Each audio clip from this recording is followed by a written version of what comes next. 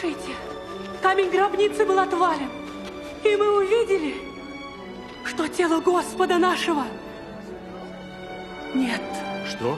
Тела Господа нет? И вдруг два мужа в одеждах блистающих предстали перед нами и сказали, что вы ищете живого среди мертвых. Это правда. Его там нет. Это правда. Пуста была гробница, и тело Господа нашего не было там. Петр, ты должен верить нам.